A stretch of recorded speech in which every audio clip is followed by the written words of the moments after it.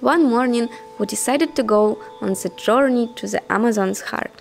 Our idea was to get a pretty cheap flight to Iquitos and from there take a boat to the Peruvian Brazilian border, Santa Rosa in Peru and Tabatinga in Brazil, and then to Manaus.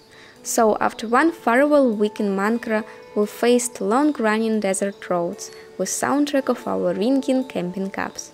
Firstly, we took the night bus to the city called Piura and took our first flight to Lima. From Lima, we had 1 hour 20 minutes flight to Iquitos, the heart of Peruvian jungles. After the desert, we were very happy to finally dive in the diversity of blooming life. We spent two nights and two days in Iquitos.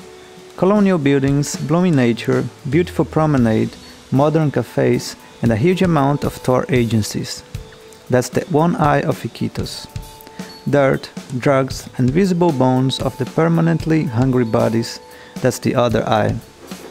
To see the whole face of the city, you need to stand look of both of them.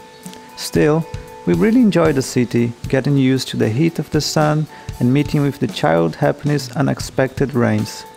Iquitos gathers a lot of tourists and spiritual communities in the deep rainforest. On Monday, early in the morning, we started to hunt the tickets. Our plan was to find the big, cheap boat that travels for three days. Tickets for such boats can only be found at the ports of Masusa or Anza. You should come on board and talk to the captain himself. He will inform you what time the doors are open and you can come and find your spot for the hammock.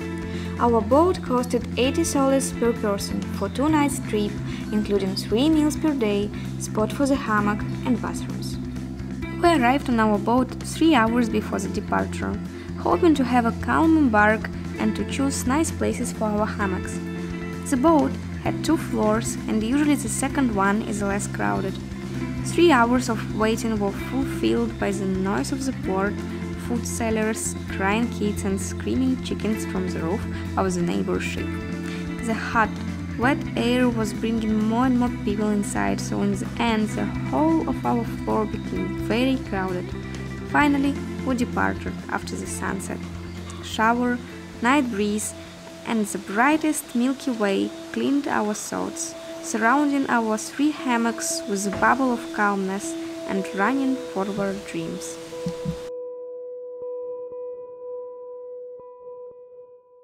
Morning on the ship starts early. The breakfast is served between 5 and 5:20. So take your cup of the oats and go to the open balcony to meet the rising sun and mysterious fog on the banks. Our boat was making a lot of stops in the small wild villages, opening our eyes wider and wider. It was that kind of journey that opens for you something dramatically new, something that you've never been touched by. It was our own discovery that we made in the most precious way. Latin America, like always, was teaching us how not to judge and take a side. We saw how the group of men was fighting with the huge bulls, trying to put them on the ship. They were hitting them with the sticks and pulling by the rings in their noses. We saw how the group of men was fighting with the wild jungles around that doesn't know mercy and just spin in their fast cycles of life. Peruvian villages mostly are very pure and badly maintained. People here were building houses knowing that one day river or forest will take them. We spent beautiful days on the boat, observing the landscapes, greeting the dolphins, reading, playing cards, and taking showers every two hours.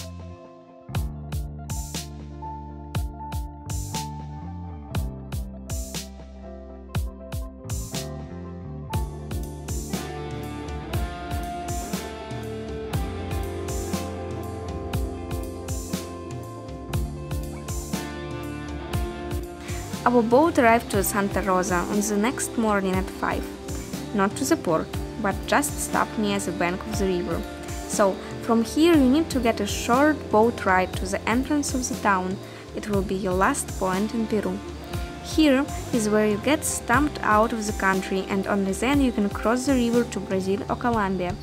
When you arrive to the Brazilian side, you need to go to the federal policy to get stamped in and you are welcome. Tabatinga is the first Brazilian city that meets you on the jungle border of Peru, Brazil, and Colombia. It takes your eyes with diversity. First of all, diversity of faces, intonations, and smiles. Tabatinga is much bigger compared to Santa Rosa, with a lot of cafes, shops, supermarkets, and hostels. In one of them, we stayed for a couple of days to have time to find our next boat to Manaus. We found out that only one company provides the boat to Manaus and they depart twice a week, Monday and Wednesday. In the port, we were told that the gates for the embark opens at 10, but we decided to come earlier to avoid the queue. It was a good decision because even at 9:30 it was already lots of people with typical huge bags. The port in Tabatinga is a different reality compared to Masusa or Anza ports in Iquitos. It is a clean, spacious building with places to sit, Office of Federal Policy, where you need to check yourself to get on the boat.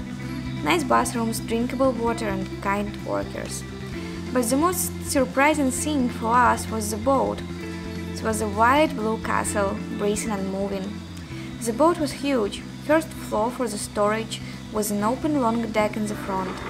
Second and third floors for the passengers with the private rooms, big areas for hammocks, kitchen and bathrooms, and fourth floor with the bar and open chill area under the sky. The price of the boat was 220 reais, which is 160 Peruvian soles, so two times higher price compared to Iquitos Santa Rosa way, but for the distance longer three or four times and for, honestly, much better conditions on board. It was equipped with 12 bathrooms on each floor and self-service kitchen that provides you with 3 meals per day and drinkable water. Make the note, if you are used to eat fruits, vegetables or light food, take them on board with you. We've got places on the third floor that wasn't crowded at all. The deck became our own hidden place of dances, meditations, and quiet talks with the great river yoga on the sleeping bag, chairs on the balconies, searching for the constellations in the evening, and all of that surrounded by the ancient jungles and power of life itself.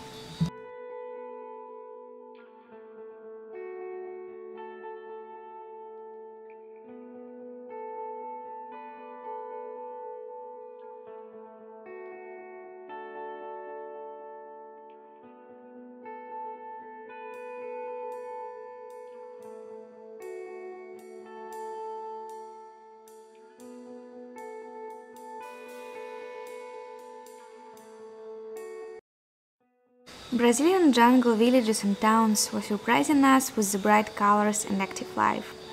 Here, a lot of the settlements were floating on the water, not going deep inside of the forests. And in the same time, beautiful towns were welcoming us inside, with the wide streets going up and up by the red banks. All of them were well maintained and clean.